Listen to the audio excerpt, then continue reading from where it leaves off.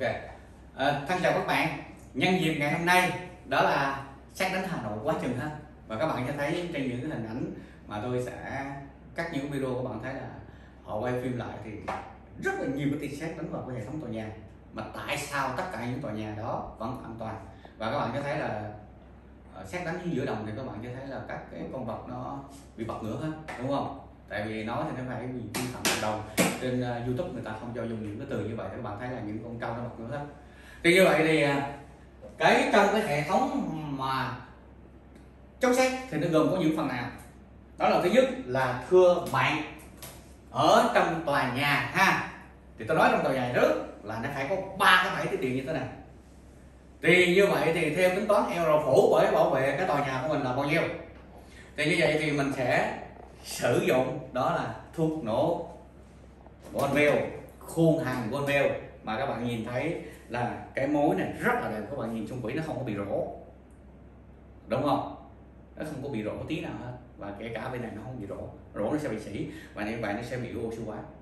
Đúng không? Thì cái này không có có các bạn này không có bị rỗ như vậy, thuốc và khuôn nó quyết định chất lượng của cái mối hàng này để nó làm cho cái mối này bền bỉ theo năm tháng. Thì như vậy thì các bạn sẽ thấy là bộ công thương người ta quy định là một năm người ta phải đi kiểm tra các bạn này như vậy thì trong tòa nhà nó sẽ có là ba bãi như thế này. Một là cái bãi à, chống xét cho tia tiên đạo. Như vậy là xét đánh trực tiếp có nghĩa là tia tiên đạo là xét đánh trực tiếp vào nhà của các bạn. Thì như vậy thì người ta phải dùng một cái bãi tiếp điện như thế này với điều kiện là điện trở nhỏ hơn 10 ohm à cái này thì nhỏ hơn 10 ohm nhưng mà các bạn làm nhỏ hơn 10 ohm mà các bạn uh, nhỏ hơn 10 ohm như vậy thì bây giờ nếu bạn làm nhỏ hơn nữa thì tốt không? Tốt.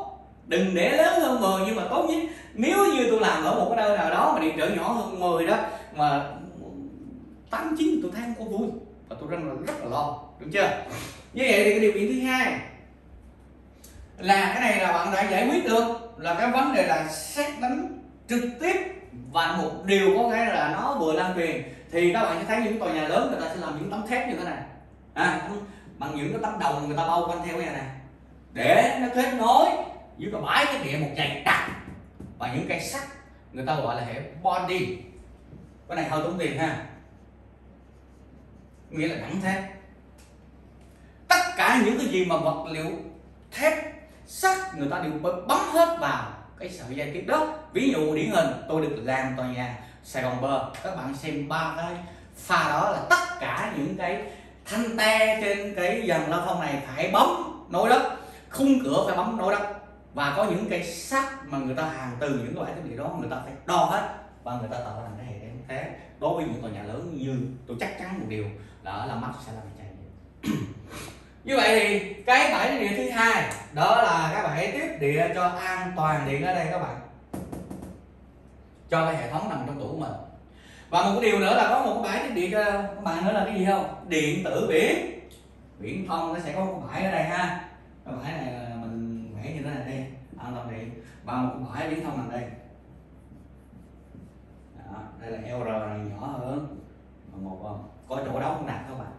Người ta mới dùng tới gì cái hóa chất để làm giảm điện trở làm sao? Nó nhập xuống này mới là yêu cầu. Và có những cái máy mà các bạn biết đó máy y tế đó, người ta bắt là nhỏ hơn một ôm bằng là cái chỗ đó này là không phải chín chín mà tôi có những người bạn học viên của tôi đó là anh luyện ơi bây giờ anh giải quyết giùm cho em sao? Tôi thua rồi áp dụng tiêu chuẩn để làm bây giờ yêu cầu như vậy thì tính cái chi phí chừng nào cho đạt thì thôi. Nó kêu nó kêu quá nhiều tiền. Thì như vậy thì nó nói thì đầu tư đúng không? Đặng không đạt thì làm sao quan giếng cộng thêm đất bãi, làm sao cho nó đồ sộ? Thì cái hệ thống mô đo của mình như thế này. Chứ bây giờ nhỏ hơn một, mà nó đòi nhỏ hơn nữa, thì phải tốn tiền đâu thưa các bạn. Cho nên, trong cái hệ thống tổng quan tòa nhà, nó phải gồm có là gì? Chống xét tiên tiến, tiên đạo.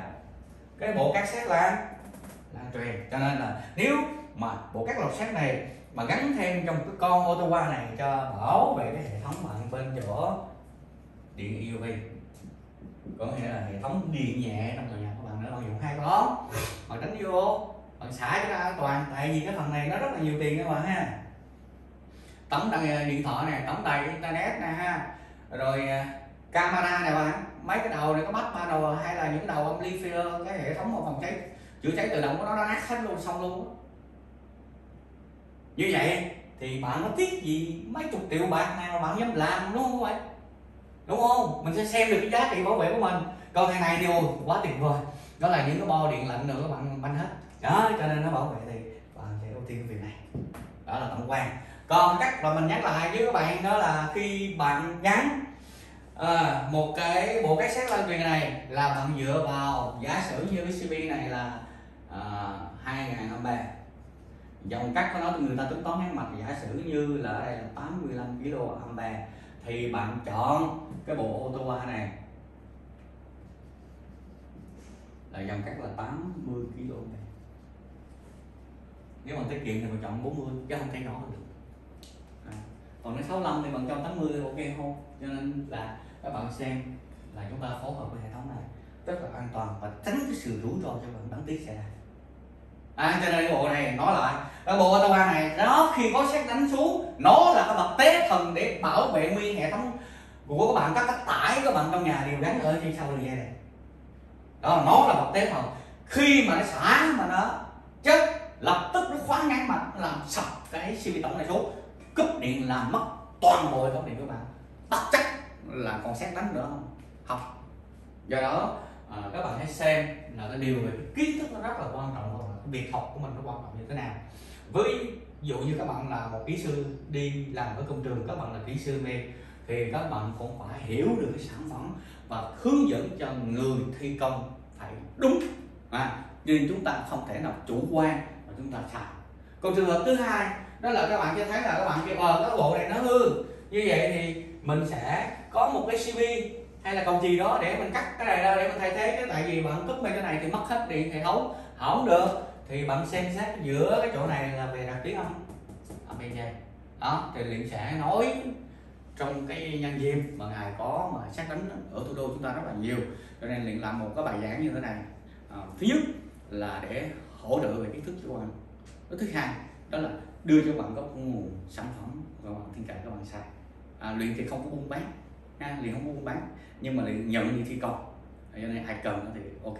Còn nếu ai là nhà thầu thi công thì hãy liên hệ sản phẩm với nhà phân phối ha. Rồi lời xin chào các bạn.